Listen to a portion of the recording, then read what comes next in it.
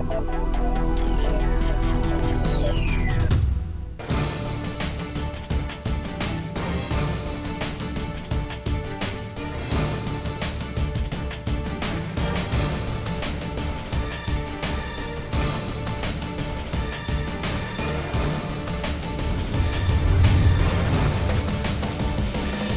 Hello and welcome to First Look Florida State Tennis. I'm your host Tom Block and coming up we'll introduce you to the men's and women's tennis teams here at Florida State as they get set to serve up the action in 2013.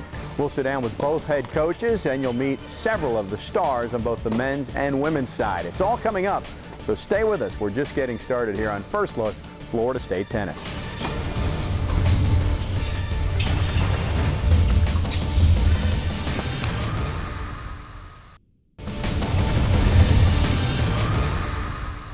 Welcome back, everybody. The 2013 season is here, and with it comes high expectations and lofty goals for the women's tennis team at Florida State. The Seminoles enter the year ranked 38th nationally, and one of their star seniors, the outspoken leader, is Amy Sargeant, who ranks 100th nationally among individuals in women's collegiate tennis. She sees nothing but success ahead this year for herself and her teammates. Um, it's my senior year, first of all, so I've got to go out with a big bang. And the fact that we have an amazing team, like everybody is really good this year, and anybody can play anywhere. It is a tough league, and I think ACCs like Duke and UNC, like they're the top two teams, and you know, it just makes you, you kind of have nothing to lose, but also you just go out there and leave, every, leave everything out there, and you know, to play better teams, it, it drives you. You want to go and beat these top teams, and we've done it in the past, and it, it feels great. You just go out there, have fun, work hard, and hard, hard work pays off in the end and we're a team that fights till the end. Fellow senior Francesca Segarelli is one of four Seminoles ranked in the top 100 as the year begins. She checks in at number 73, and she too thinks Florida State can grab that elusive ACC title that they were so close to capturing just a couple of years ago.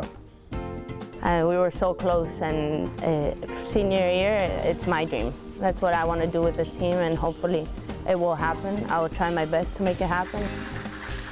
It takes passion, it takes a lot of hard work. It takes not letting go. No matter what happens, keep fighting. And give not 100%, 110% every day. As competitive as they are on the court, this most international of teams is even more committed in the classroom. The lone American on this Cosmopolitan squad is sophomore Layla Erkin. And even though she's one of the youngsters, if you will, in the squad, she's the top academician on a team that annually boasts the top cumulative team GPA of any FSU sports team. We're all driven and very ambitious. We have the same goals, which is very nice because we all work very hard and we all want the same things both in academics and in tennis. And that drive and ambition were on display this past fall as the Florida State women's team had a terrific start to the 2012-2013 campaign. Let's look back at that special fall season that served up the start of what should be a spectacular year.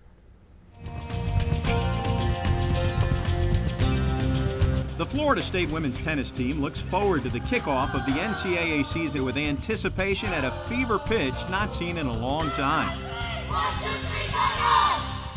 The confidence and enthusiasm are fueled by the most successful fall schedule in program history. I never felt this strong as a team, and we went through the fall, and it was unbelievable. We never had such a, a strong fall either, and so many results, and seeing not only uh, in tournament, but also working out, also listening to comments. I've never heard it so close and so decided to do so well. So it obviously motivates me much more. From the team's strong showing at the opening tournament at Furman University to the State of Florida Championships at the University of South Florida, the Garnet and Gold ladies blazed a historic path through the fall schedule. Amy Sargeant highlighted the autumn campaign, reaching the finals at USF. I think the fall is very important because it, it gives you a taste of what college tennis is about, especially for the newcomers. And it's like, it's the hardest part because you're in season training, you're in post-season training, you're traveling on the road and, you know, just play back-to-back -back matches and with a heavy schedule like we had last semester, to go into the spring with, with the success we had, it's, it's exciting, you know, it's like a fire in the belly. And we all had, a, every one of us had a really good fall. Fitness-wise, match-wise, school-wise, everything was just like, boom. The fall saw a growth in the experience as well as the depth for the Garnet and Gold, with a quartet climbing up the national rankings. It was a season which has raised excitement and expectations among players and coaches alike.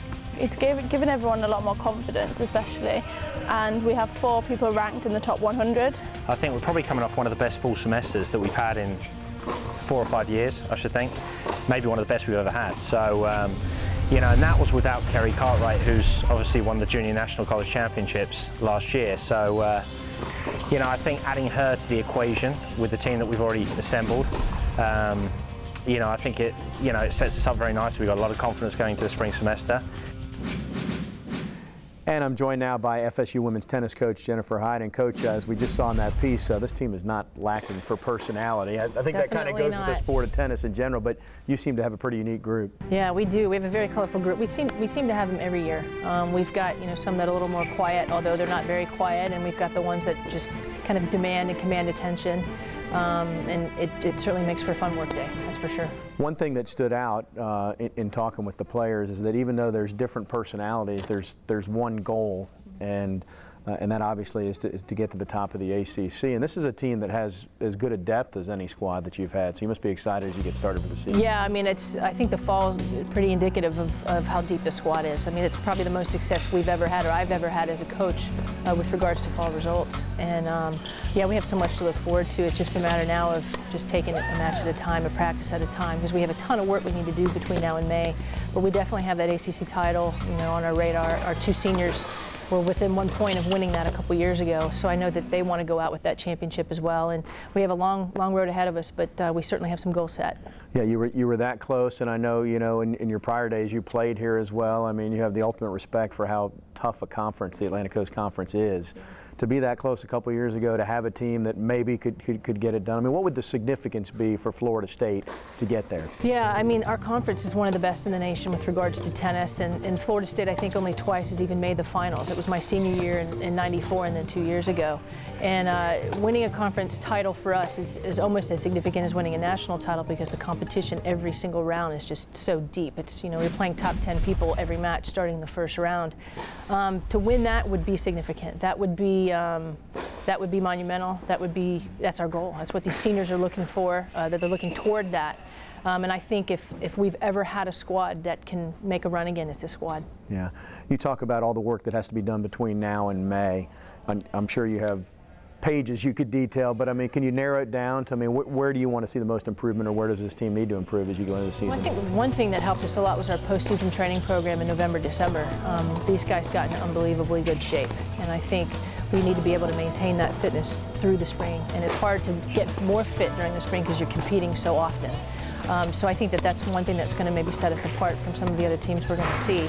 Um, I also think uh, individual time, one-on-one -on -one time on court with them, working on specific things so they're just used to doing things over and over again. Muscle memory, maybe little things we have to tweak in some of their individual games, I think is really important. And then lastly is just bringing the team together and making sure this team gels. Um, I think that was one of the strengths we've always had in the program is this, this team plays for each other. And I think if we can work on all those things, it can be a pretty exciting season. Can you give us a little thumbnail? I mean, the program has, on each of these individuals, four players in the top 100 right now, which speaks to the depth that we already discussed a little bit. But can you give us a little snapshot on each of those players that are ranked so highly? Yeah, I mean, and we could have more people. It's just I'm, I'm, I'm very impressed with having four in the top 100. I think that speaks volumes. Um, Danica Borthwick came in here uh, as a, a redshirt freshman and, and just absolutely tore it up in the fall. I mean, she made the regional semifinal. She had six or seven ranked wins. Um, worked herself in the top 30 or 40 in the country in just one semester. Uh, her future is very bright, and I think she's on a mission not only to help this team reach great things, but she individually also aspires to do great things. Um, Mia Vrians uh, started a little late her freshman campaign last year, and this year is just again, ranked wins coming out, came back fit, you know, dropped some weight during the summer, uh, is one of the fastest players we have on the team, and she's focused and, and I think very green now. Um, who else we have? Francesca, our two seniors are the last two ranked. Uh, worked really hard during the summer. Uh, Fran is ready to go. She's on a mission this semester, as is you know her her sis, uh, Amy Sargeant, who is this is her first complete fall that Amy's played since she's been here, and uh, she's had some hip issues, but she's sorted all those out. So to kind of have those, those are our top four, but we have two or three other people that could be in our top four as well. So we don't know what's going to happen. Um, anyone could play anywhere this year, and it, that makes for a lot of difficult decisions on our part, but it's a good problem to have. I shouldn't have saved this question for last because clearly it's not last in your priorities, but your team annually wins the Golden Torch Award for academic success. Yes. Uh, maybe not why such an emphasis, but talk about your emphasis on academics because clearly it shows with every other one of the players on your team. Yeah, I tell you what, uh, last semester, at the beginning of the fall and, and a couple weeks into the fall, a lot of our girls were discussing how stressed out they were about school, and they were really concerned about dropping that, you know, their grade point averages from last semester. And that somehow at the end of the semester, we ended up, I think, getting a 3.5, 3.6 team GPA, which when a couple of them were really concerned. And if that's what they do when they're concerned, you know, I mean, that, that just shows the effort that they put toward it. And they know it's a very, they know we have our big dinner in October, and they don't want me sitting at that dinner not getting the award every year for our team. I think they do take a lot of pride in that. And uh, I'm just really impressed with the efforts that they make with that side of their responsibility. They just year in and year out, they continue to work so hard with it. And, and it's important in the recruiting process, we stress that to them as well. So uh, they know that that's kind of what we expect. But you know, you have expectations and, and, meeting them sometimes doesn't always work. But so far, they've done such an awesome job with it.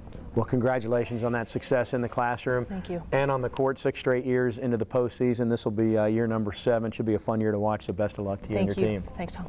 All right, Coach Jennifer Hyde, the women's coach here at Florida State. Stay with us. We'll take a break and come back and turn our attention to the men's tennis team here at FSU. We're coming right back.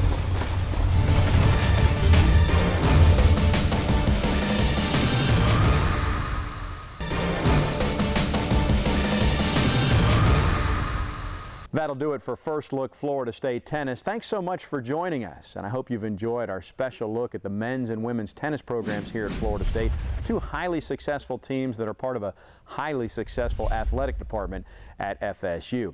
We wish both the men and women the best of luck this year in the ACC tournament and also in NCAA postseason competition. Remember, you can follow the Florida State tennis teams and all Florida State athletic teams year-round by logging on to Seminoles.com. Again, thanks for joining us, and I'll see you next time right here.